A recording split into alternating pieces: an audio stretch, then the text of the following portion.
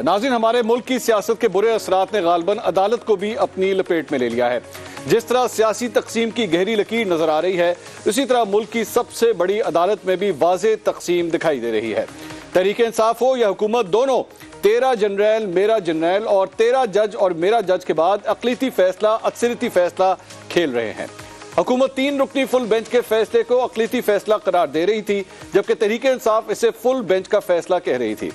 इसी बहस इसी बहस मुबासे के दौरान आज सुप्रीम कोर्ट के जस्टिस अथर मिनल्ला ने पंजाब और खैबर पख्तनख्वा में इंतबात से मुतल खुद नोटिस केस में तफसीली नोट जारी कर दिया। पच्चीस सफात पर मुश्तमिल इस तफसीली नोट में जस्टिस अथर मिनल्ला ने कहा कि पंजाब और के पी इलेक्शन का अस खुद नोटिस चार तीन से मुस्तरद हुआ है, क्योंकि वो जस्टिस मंसूर अली शाह, जस्टिस याया अफरीदी और जस्टिस जमाल मंदोखेल की राय से मुतफिक हैं। उन्होंने कहा कि हाई कोर्ट और सुप्रीम कोर्ट के जजेस ने आइन के तहफ़ का एक जैसा ही हलफ उठा रखा है। आर्टिकल एक सौ चौरासी तीन में अपील का हक नहीं होता, इसलिए मुनासिब होता कि हाई कोर्ट को मामला सुनने दिया जाता। उन्होंने तहरीक इंसाफ की दरख्वास्त पर कार्रवाई शुरू करना कबल उस वक्त करार दे दिया। जस्टिस अतर मिल्ला ने अपने ही चीफ जस्टिस के बारे में कहा कि सुप्रीम कोर्ट के वकार की बहाली और अवाम के अतमाद की ज़िम्मेदारी चीफ जस्टिस की बुनियादी ज़िम्मेदारी है। ये दोनों काम नहीं हो रहे। उन्होंने यह भी वाजे किया कि उन्होंने समाज से मुआजरत की ना ही बेंच से अलग होने की कोई वजह थी।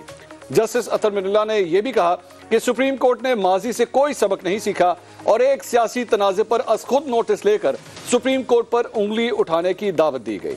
जस्टिस अतर मिल्ला ने एक साल कबल सुप्रीम कोर्ट की तरफ़ से इमरान खान के खिलाफ अदम एतमाद पर अस खुद नोटिस लेने को भी गलत करार दे दिया।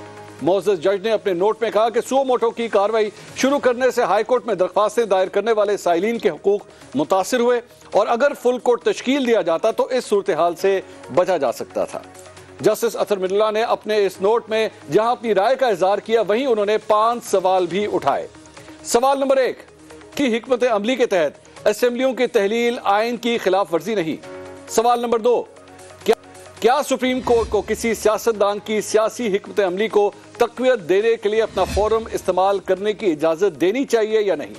सवाल नंबर तीन, क्या अदालत को गैर जमहूरी रवायात की हौसला अफजाई करनी चाहिए?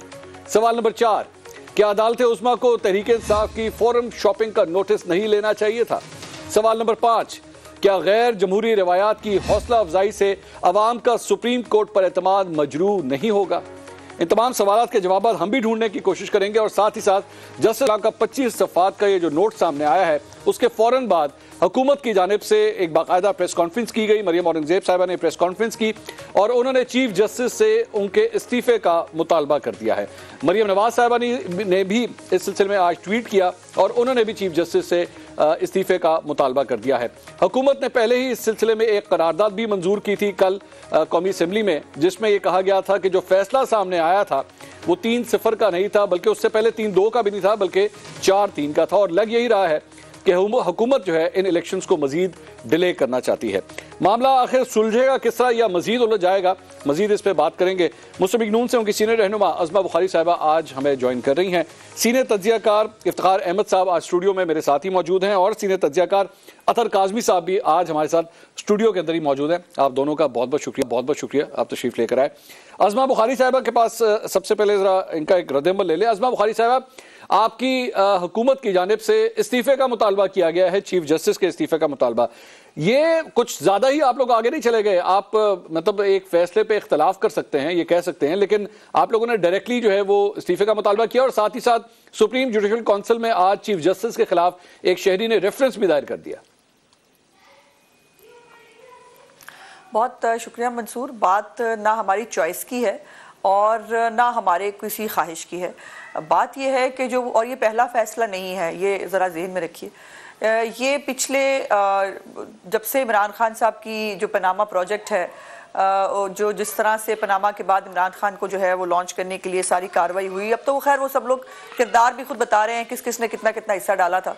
लेकिन ये सबसे ज़्यादा जो इस वक्त बहरान की सी कैफियत है, ये शुरू हुई थी जो पंजाब का फैसला था, जो 63 ए की री राइटिंग की गई है कॉन्स्टिट्यूशन की, और ये फिर री राइटिंग का लफ्ज़ हमने इस्तेमाल नहीं किया बेंच के अंदर से जो है वो जजेज़ ने इस्तेमाल किया। देखिए, बिल्कुल इख्तलाफ होता है, फैसलों से भी इख्तलाफ होता है, एक पार्टी के हाथ में होता है, एक के खिलाफ होता है, लेकिन यहाँ बात कुछ और हो रही है, और जजेस का कराम जो है उन्होंने इंसाफ देना होता है, मंसूर, वो इंसाफ की कुर्सी पर बैठते हैं, और उनका जो एक परसेप्शन है इंसाफ के हवाले से या उनकी पर्सनैलिटी के हवाले से, वो अनडाउटेडली क्लियर होना चाहिए। अब प्रॉब्लम यह है कि बेंचेस के जो अंदर मौजूद जजेस हैं, वो खुद कह रहे हैं मंदोखेल साहब ने कहा कि मुझे भेजा ही नहीं गया फैसला। जो है वो सुनाने से पहले मुझे किसी ने फैसला जो है वो, मैं इंतज़ार करता रहा चैम्बर में, मुझे किसी ने भेजा ही नहीं। अतर मिनल्ला साहब जो है, उन्होंने आज कहा कि वो बेंच का हिस्सा थे, उन्होंने बेंच से जो है वो रिक्यूज नहीं किया था, लेकिन उनको जो है वो बेंच के अंदर शामिल नहीं किया गया। अपनी मर्ज़ी के बेंच बनाना तो सुना था, लेकिन अपनी मर्ज़ी के फैसले दिलाने के लिए जो है वो फैसले हासिल करने के लिए, और फिर सियासी फैसले। सबसे इंपॉर्टेंट बात है सियासी फैसले। और वो सियासी फैसले एक ही जमात, एक ही बेंच बैठता है। वो एक ही जमात को बार बार रिलीफ देता है वो उसके लिए उसको दोबारा कॉन्स्टिट्यूशन लिखना पड़े उसको अपने जजों को डिच करना पड़े उसको अपने जो है वो अपना हलफ लिया हुआ जो आइन से वफादारी का हलफ लिया हुआ है उसको जो है वो नजरअंदाज करना पड़े तो जब ये हालात आ जाए फिर मजबूरी है ये कहने की कि बेहतर ये है कि फिर और फिर तमाम जजिस का नाम जो है वो कह रहे हैं हुकूमत कह रही है पार्लियामेंट कह रही है इस मुल्क में सिर्फ़ अदलिया का एहतराम है। मुझे मुझे सिर्फ़ एक, एक क्लैरिटी दे दीजिए। पार्लियामेंट एक क्लैरिटी दे दीजिए दस तारीख को आप लोग पैसे दे रहे हैं कि नहीं दे रहे हैं। सिंपल सी बात है इलेक्शन के लिए। जी, मुझे नहीं मालूम इस पे इस पे हुकूमत ने अभी क्या जो है वो फैसला किया है, वो भी फैसला सामने आ जाएगा। और, लेकिन ये है कि ये फैसला मानना ही नहीं जाएगा ना। मेरी गुजारिश आप, मैं दोबारा करना चाहती हूँ।